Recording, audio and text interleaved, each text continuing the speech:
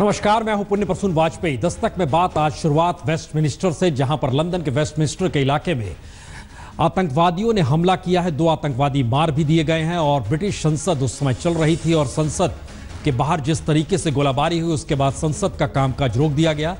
दो हमलावर को पुलिस ने गोली मार दिया इस बीच जानकारी यह भी आ रही है। और हमले के वक्त संसद में 200 सांसद थे। हालाँकि ये कुछ दूरी पर वेस्टमिनिस्टर का जो इलाका है, वहाँ से चंद फरलांग की दूरी पर था। लेकिन वेस्टमिनिस्टर अंडरग्राउंड रेलवे स्टेशन भी बंद कर दिया गया है। बहुत ही चहल पहल वाला इलाका है। पर्यटन के तौर पर भी यहाँ पर लोगों की मौजूदगी खासी होती है। लेकिन हमलावर किस मिजाज के साथ ये हमला किया गया था, उसकी कई वजहों को माना जा रहा है। उसमें एक ब्रेक्सिट भी माना जा रहा है। लेकिन जब तक सब कुछ साफ़ नहीं होता है ब्रिटिश पुलिस का कहना है कि वो आतंकवादी मानकर ही इस पूरे मामले की जाँच कर रहे हैं और वहाँ पर फ़िलहाल पूरे इलाके में गार्डन ऑफ़ किया जा चुका है। सारी तरफ़ से चीज़ें बंद की जा चुकी है। इन सब के बीच जो जानकारी हमारे पास जैसे जैसे आएगी, हम आपको देते चलेंगे।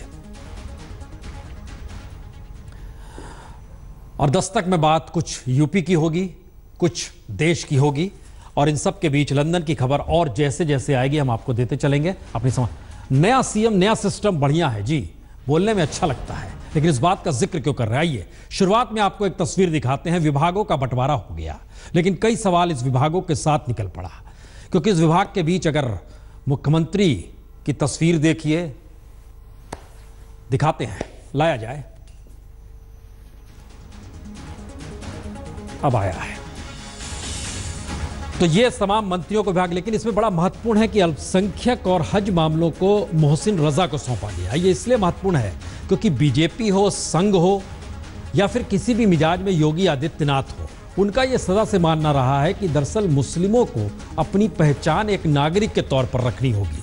लेकिन बावजूद इसके, जब अल्पसंख्यक समुदाय का मामला आया तो मोहसिन रजा, जो कि क्रिकेट खिलाड़ी हैं, वो ना एमएलए है, ना एमएलसी हैं। बावजूद इसके उन्हें लाया गया और उन्हें अल्पसंख्यक समुदाय से जुड़े मामलों को देखने के लिए ही मंत्री बना दिया गया। ये कई मायनों में बड़ा महत्वपूर्ण इसलिए है क्योंकि बीजेपी अक्सर ज़िक्र करती है कि एक वक्त मौलाना अबुल कलाम आज़ाद को रामपुर से चुनाव नेहरू ने लड़ाया था और उस वक्त कलाम साहब कहा कहते थे कि, दरअसल हमारी पहचान आप मुस्लिमों से क्यों जोड़ रहे हैं? हम तो हिंदुस्तानी हैं। उस वक्त नेहरू ने जिस रूप में पहचान उनको मुस्लिमों से जोड़ कर दी उसमें यह भी एक सवाल है कि जब आप सबको नागरिक मानकर एक साथ सबके विकास की दृष्टि को देखते हैं तो फिर अल्पसंख्यक शब्द क्यों है आपके जहन में? और अगर है तो फिर उस मिजाज को आपको जीना होगा। लेकिन इन सब के बीच आइए नया सीएम नया सिस्टम बढ़िया इस बात का ज़िक्र है तो आइए रिपोर्ट दिखाते हैं। कल तक का करप्ट सिस्टम आज सक्रिय क्यों हो चला है? आप देखते रहिए बहुत कुछ बंदी होने जा रही है वहाँ।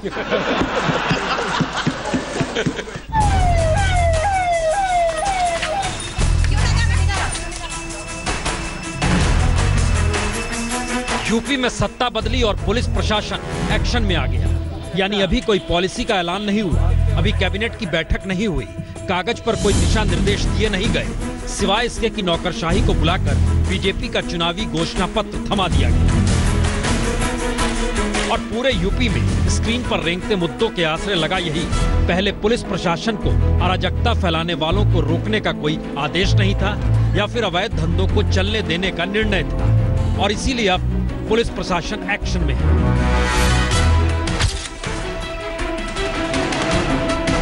दरअसल सवाल यही है, क्या सत्ताधारी नेता करप्ट होता है? क्या नौकरशाही करप्ट होती है? या फिर दोनों का गठजोड़ सिस्टम को करप्ट करता है? या फिर यूपी एक ऐसे राज्य के तौर पर है जहाँ इंस्टीट्यूशन फेल हो चुके हैं तो सत्ता के बदलते ही सत्तानुकूल संस्थान काम करते हुए दिखना चाहते हैं। तो असल परीक्षा योगी आदित्यनाथ की यही है कि यूपी में तमाम संस्थान अपना अपना काम ईमानदारी से करें। क्योंकि यूपी की जो नौकरशाही, जो पुलिस आज सड़क पर सक्रिय नज़र आ रही है, उसका सच यह भी है कि सबसे ज़्यादा भ्रष्टाचार के दाग देश में यूपी की नौकरशाही पर ही लगे। सबसे ज़्यादा दबंगई यूपी की पुलिस ही सड़क पर दिखाती रही है। यानी जिस राज्य में छेड़छाड़ को रोकने के लिए कानून है, जिस राज्य में अवैध बूझड़ खाने चलाने पर सजा का प्रावधान है जिस राज्य में सिविल परीक्षा में धांधली पर सजा दी जाए, इसके लिए कड़ा कानून है। उस राज्य में अभी तक सब कुछ चला कौन रहा था और अब रोक कौन रहा है? तो क्या ये मान लिया जाए कि राजनेता अपने वोट बैंक को साधने के लिए गैर कानूनी कामों को बढ़ावा देते हैं और भ्रष्टाचार की गंगा में हाथ धोने को बेकरार नौकरशाही उन गैर कानूनी कामों को खुलेआम होने देती है? क्योंकि अभी तक यूपी में जो हो रहा था, वो सत्ता की दबंगई के साय में था। और अब जो हो रहा है, वह नए सीएम की दबंग ईमानदार छवि के डर से हो रहा है। मसलन 13 मार्च को होली के दिन कानपुर में एक परिवार की लड़की को बदमाशों ने सरेआम छेड़ा, बदतमीजी की। पिता पुलिस में शिकायत करने पहुँचे तो शिकायत फाड़ कर फेंक दी गई। लेकिन सत्ता बदलने के बाद परिवार ने योगी को ट्वीट कर दिया तो अब पुलिस वाले खुद घर चलकर पहुँच गए। और यही वजह है कि अब योगी के राज में गलत को सही करने की कोशिशों की वैधानिकता पर सवाल उठने के बावजूद लोगों को मुहिम अच्छी लग रही है। मुख्यमंत्री योगी आदित्यनाथ के मोबाइल पे उसने ट्वीट कर दिया।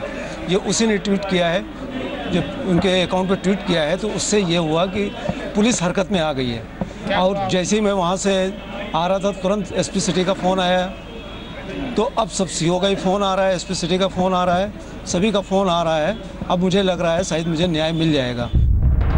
तो क्या सत्ता के शीर्ष पर बैठे शख्स की छवि से राज्य चलते हैं? या फिर योगी मॉडल पहली बार यूपी के उस सिस्टम को दुरुस्त कर देगा, जिसमें सिस्टम खुद ब खुद काम करे, किसी को कहने की ज़रूरत ना पड़े? क्योंकि आज ही तो विभाग बटे हैं, और आज ही योगी ने सचिवालय को पैदल चलकर नापा भी है, और पान गुटके में रंगी दीवार पर गुस्सा भी जताया है, और गुटके पान पर पाबंदी भी लगा दी है। तो बिगड़े यूपी को पटरी पर लाने के लिए सिर्फ़ दीवारों पर दाग पोछने या फिर न होने का ज़िक्र करना बेमानी होगा। दरअसल दीवारों में कैद सिस्टम को ठीक करना होगा। इंतज़ार कीजिए, योगी मॉडल अभी शुरू होगा। तो सीएम नया है, सिस्टम पुराना है, लेकिन सिस्टम अपने आप को एक्शन में ला रहा है। दरअसल अगर हिंदुस्तान के सिस्टम को पिरामिड के तौर पर देखिए तो शीर्ष पर जो शख्स बैठा होता है, उसी से समूचा सिस्टम तय होता है। जरा समझने की कोशिश की जाए, क्या दिल्ली, क्या लखनऊ, मिजाज तो एक से रहे।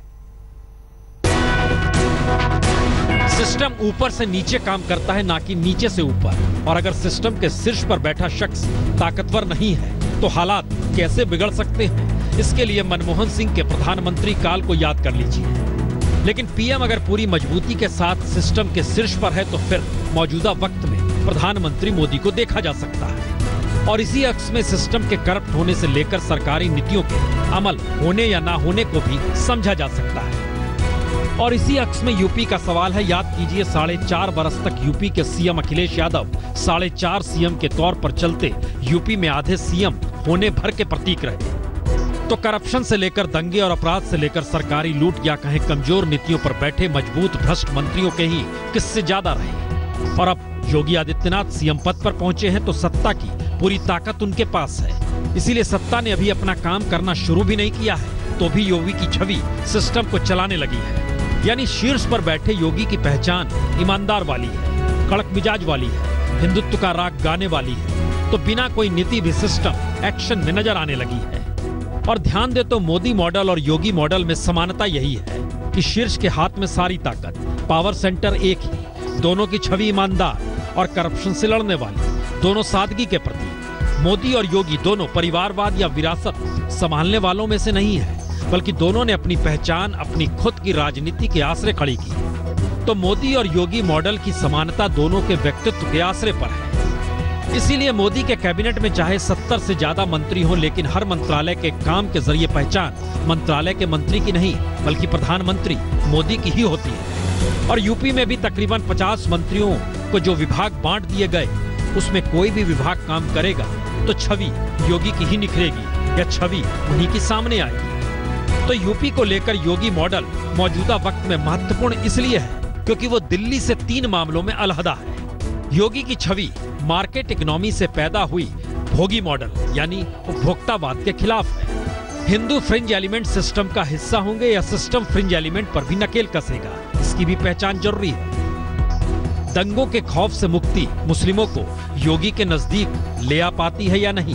क्योंकि गोरखपुर मॉडल में तो मुस्लिम मंदिर के भीतर नज़र आते हैं। अगर नफरत होते तो लिख देते बोर्ड पर कि मुसलमान नाम मंदिर में। मुसलमानों के लिए कोई रोक टोक नहीं जो भी होता काम सब काम करते हैं। दरअसल सत्ता संभालने के बाद योगी की छवि कैसे गवर्नेंस को धार देती है और सत्ता चलाने की धार कैसे यूपी जैसे 22 करोड़ वाले राज्य में अमन चैन लाती है नज़रें इस पर दिल्ली की भी है क्योंकि योगी मॉडल की सफलता असफलता पर भविष्य की सियासत टिकी।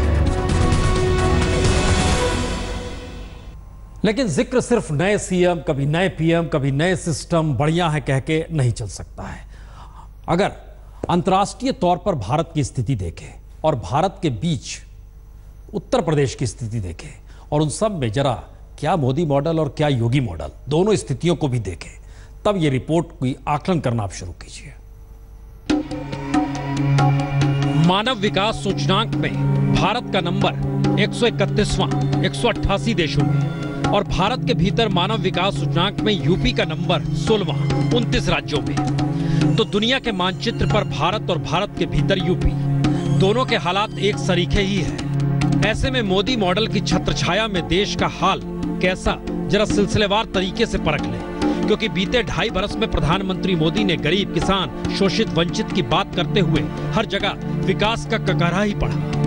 लेकिन रहन सहन के स्तर औसत उम्र यानी सामाजिक आर्थिक तौर पर, भारत का जो हाल है, उसमें दुनिया के सिर्फ़ संतावन देश ही भारत से नीचे हैं और 130 देश भारत से आगे हैं। लेकिन मुद्दा सिर्फ़ एक रैंकिंग का नहीं। भारत के महानगरों में रोज सुबह पार्क में लाफिंग क्लासेस के ज़रिए ठहाकों की गूंज तो आपने देखी सुनी होगी। लेकिन देश का सच यह है कि इस पर संयुक्त राष्ट्र की रिपोर्ट कहती है, सबसे ज़्यादा खुशहाल देशों में भारत का नंबर 155 देशों में 122वां है। और पिछले बरस 118वां नंबर था, यानी एक साल में थोड़ा कम खुशहाल भारत हुआ है। हद यह है कि पाकिस्तान और नेपाल जैसे देश इस रैंकिंग में भारत से ऊपर है। वैसे सवाल यह भी नहीं कि भारत खुशहाल होगा कैसे, क्योंकि देश के 80 करोड़ लोग तो दो जून की रोटी के जुगाड़ में ही ज़िंदगी काट देते हैं। और नतीजा इसी का कि वर्ल्ड बैंक की रिपोर्ट कहती है, भारत में दुनिया के सबसे ज़्यादा गरीब बसते हैं, सबसे ज़्यादा भूखे पेट सोने वालों में भारत ही अव्वल है, तकरीबन 20 करोड़। कुपोषण से ज़्यादा मौत भारत में ही होती है। शिक्षा के मामले में 145 देशों में भारत का नंबर बानवे का है। स्वास्थ्य के मामले में भारत का नंबर 188 देशों में एक है। और संयोग देखिए आज, वर्ल्ड वाटर डे है। और कल ही रिपोर्ट आई कि ग्रामीण इलाकों में रहने वाले 6 करोड़ 30 लाख लोगों को साफ़ पीने का पानी तक मयसर नहीं और इस देश में 3 करोड़ 80 लाख लोग पीने के पानी से होने वाली बीमारियों से ही पीड़ित हैं। तो भारत विकास का कौन सा ककहरा पड़े? क्योंकि भारत के सबसे बड़े सूबे की हालत भी कम बिगड़ी हुई नहीं है। हालाँकि, नए सीएम का कहना है तो मोदी के सपनों का यूपी होगा कैसे और योगी यूपी को बनाएँगे कैसे? ये इसलिए महत्वपूर्ण है क्योंकि सबसे ज़्यादा गरीब यूपी में है। अपराध के मामले में यूपी नंबर एक पर है। साक्षरता दर के मामले में यूपी का नंबर तेईसवां है। विकास दर की बढ़ोतरी के मामले में सबसे पिछड़ा अट्ठाईसवां नंबर है। पीने के साफ़ पानी की उपलब्धता के मामले में सबसे पिछड़ा अट्ठाईसवां नंबर है। और देश में सबसे ज़्यादा बिना छत के लोग यूपी में ही रहते हैं। यानी सवाल यह नहीं कि दुनिया के मानचित्र पर भारत कहाँ टिका है और भारत में यूपी कहाँ खड़ा है। सवाल है कि आखिर वह कौन सा मॉडल है जिसके आसरे देश विकास की दौड़ में वाकई दौड़ता दिखे और यूपी समर जाए। इंतज़ार कीजिए, कोई ना कोई मॉडल तो सामने आएगा। अब आपसे कोई ये सवाल करे कि ब्रिटिश काल के दौर में जिस वक्त शेक्सपियर थे, उस वक्त वहाँ पर किसकी सत्ता थी? कौन सी रानी थी? कौन से महाराजा थे? यकीनन आप सोच में पड़ जाएँगे जरा सोचने की कोशिश कीजिए हम बताएँगे ज़रूर लेकिन उससे पहले यह भी समझ लीजिए कि आखिर साहित्य क्या मतलब होता है उसका और ऐसे में रोमियो और जूलियट शेक्सपियर ने लिखा था और मौजूदा वक्त में उत्तर प्रदेश में रोमियो के खिलाफ एक एजेंडा चल पड़ा है दोनों को मिला दीजिए और इस रिपोर्ट कान में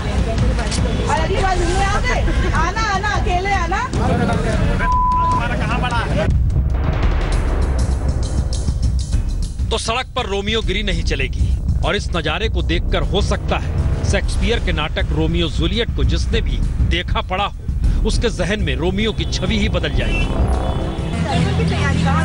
तो रोमियो शब्द को यूपी का एंटी रोमियो हंगामा ना तो मिटा सकता है, ना ही भुला सकता है। हाँ कोई दूसरा नाम जो छेड़छाड़ या एव टीजिंग से जुड़ा होता तो शायद यूपी के बिगड़े शोधों के साथ चल सकता है। मुश्किल है, लेकिन इस सिल्वर स्क्रीन के गीत को ना गुनगुनाइए। हमने शेक्सपियर का ज़िक्र इसलिए किया था किन्हें याद है उस वक्त। एलिजाबेथ वन थी, या जेम्स सिक्स था।